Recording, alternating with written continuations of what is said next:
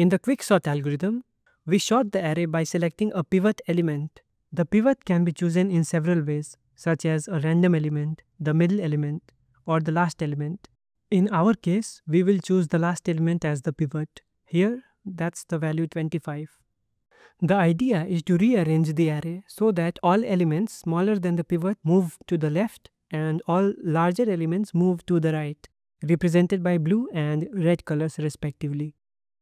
We then recursively apply the same steps to both halves until each subarray has only one element, which is considered already sorted.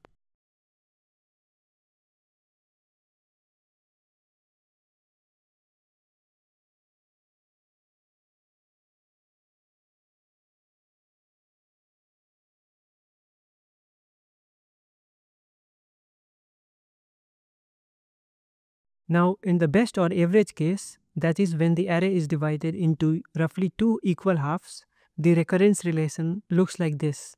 Rearranging the elements around the pivot takes O of n time.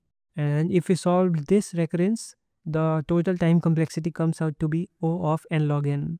As for space complexity, the rearrangement happens in place, so it does not require any extra memory. The only space used comes from the recursion stack, which goes up to log n levels deep in the best and average case. This stack space is a direct result of how recursion works. Now, in the worst case, that is when the pivot is always either the largest or the smallest element, the array does not get divided into halves. Instead, it becomes completely one-sided after each partition. In this scenario, both the time and space complexity degrade significantly.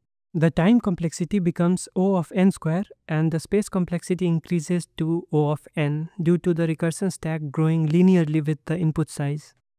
Now, the code for quicksort is actually quite simple. We begin by writing the partition function first, which is the core part of the algorithm. This function takes three inputs, the array itself, the low index and the high index. First, we create a variable to store the last element as the pivot. We also initialize a variable i to low minus 1. Then we run a loop from low to high.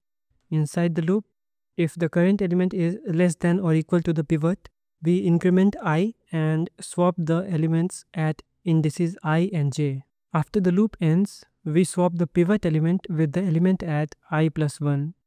And finally, we return i plus 1, which will be used by the quicksort function to divide the array into subarrays.